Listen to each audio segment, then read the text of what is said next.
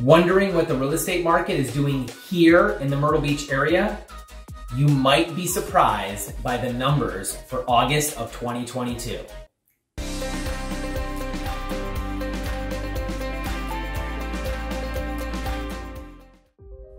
Hi y'all, we're Frank and Tiffany Hereda, realtors here in the Grand Strand. And we have been getting a ton of questions lately on how the real estate market is reacting to these rising interest rates. So let us break it down for you today. First, let us take a look at the single family resale homes throughout the Grand Strand. For the month of August, the average sold price was 442,000, down 2.25% from July's average of 452,000, but close to June's average of 445,000. Homes closed at 97.4% of the list price on average, which was about the same as July, but less than June's 99%. The average days on market was 73 days versus 68 days in July and 62 in June. Now there is a 3.44 month supply, which is not too far off from July's 3.33 month supply, but higher than the 2.95 month supply we had in June. The current average list price of homes on the market is 564,000. In summary, for single family resale homes in the Grand Strand, the prices have come down a little and buyers are getting a slightly better deal. Homes are staying on the market a little longer and we are approaching a balanced market. Next, let us take a look at the condo and townhouse resale homes throughout the Grand Strand. For the month of August, the average sold price was 262,000, which was the same as July, about 4.5% lower than June. These close at an average list to sales price ratio of 97.8%, which was less than July's 98.6% and June's 99.6%. The average days on market was 63, which was actually lower than July's 70 days and June's 73 days. There is now a 3.42 month supply, which is lower than July's 3.51 months, but more than June's 3.15 months. The current average list price of homes on the market is 283,000. So, for condos and townhomes in the Grand Strand, the average sold prices are holding steady, but people are getting a little better discount off those list prices. Interestingly though, homes sold a little quicker and there's slightly less inventory on the market than the previous month. So it is still a seller's market condos and townhomes here in our area. All right, let's now move over to the oceanfront and take a look at condo sales in the oceanfront buildings. The average sold price in August was 336,000, which was higher than both June and July and back to about where we were in May.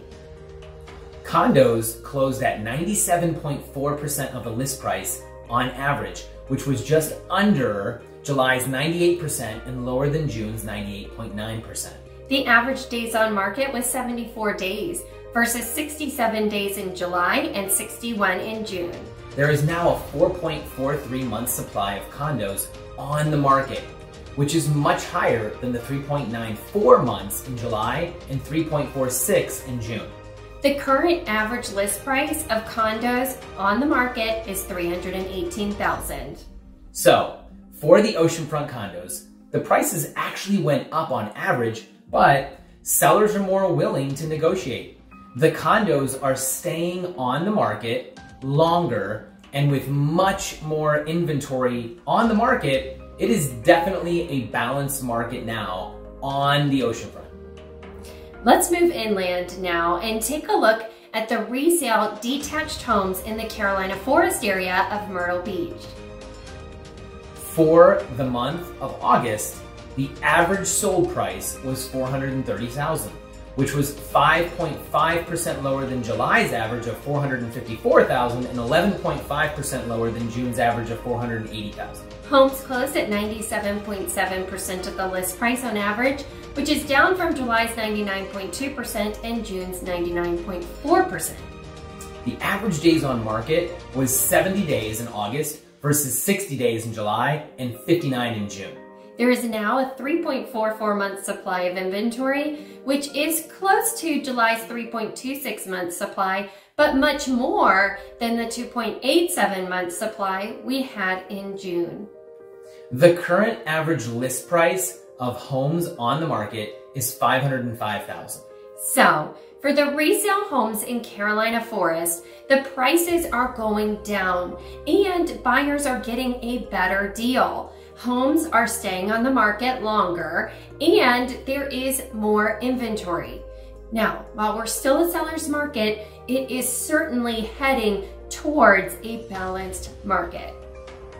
Next, let us take a look at the condo and townhome sales in the Carolina Forest area. For the month of August, the average sold price was 217,000, which was about the same as July's average of 214,000, but prices are over 3.5% higher than June's average, which was 209,000. These closed at a 97.9% of the list price on average, which is lower than July's 99.5% and June's 100%.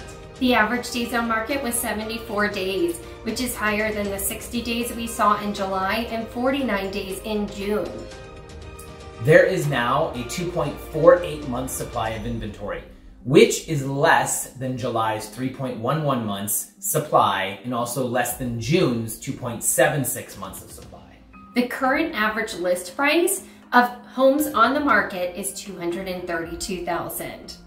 Prices for condos in Carolina Forest have actually been going up. But buyers have been able to negotiate these prices a little more.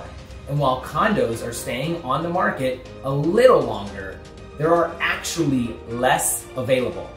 So, it is a seller's market for condos in Carolina Forest. Now, before we wrap it up, let's quickly talk about new home construction in our area.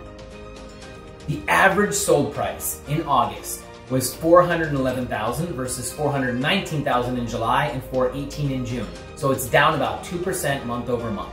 The list to sold price ratio was 99.9% in August, 100% in July, and 99.9% in June, which shows that builders are staying pretty firm on their list prices.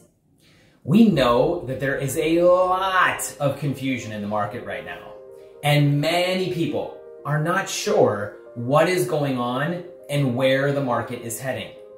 If you are wondering if it is a good time for you to buy or sell, give us a call and let's discuss.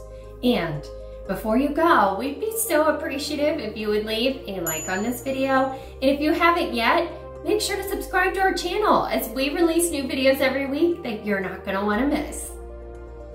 Buying and selling is always the best with my mommy and daddy.